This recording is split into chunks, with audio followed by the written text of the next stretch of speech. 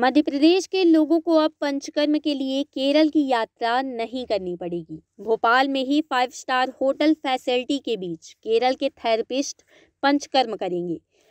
कलियासोट dam के किनारे देश का पहला सरकारी पंचकर्म एंड वेलनेस सेंटर बनकर तैयार हो गया है।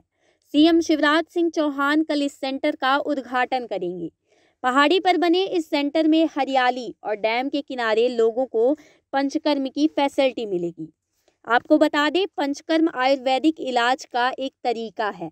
पंचकर्म का अर्थ पाँच वेरियस थेरेपीज का कॉम्बिनेशन है। इस प्रोसेस के साथ शरीर की बीमारियों को और कुपोषण द्वारा छोड़े गए विषैले पदार्थों को बाहर करने के लिए किया जाता है। खुशीलाल आयुर्वेदिक कॉलेज परिसर में बने पंचकर्म एवं वेलनेस सेंटर में केरल के थेरेपिस्ट पंचकर्म करेंगे। कॉलेज प्रबंधन ने केरल से थेरेपिस्ट को इस सेंटर के लिए नियुक्त किया है। आने वाले दिनों में भोपाल के स्टाफ की संख्या और भी बढ़ाई जाएगी।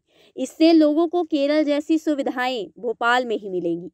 पंचकर्म एंड वेलनेस सेंटर में कुल पचास बेड हैं। इनमें semi private ward, deluxe room और फाइव स्टार होटल की तरह सुपर डीलक्स रूम बनाए गए हैं।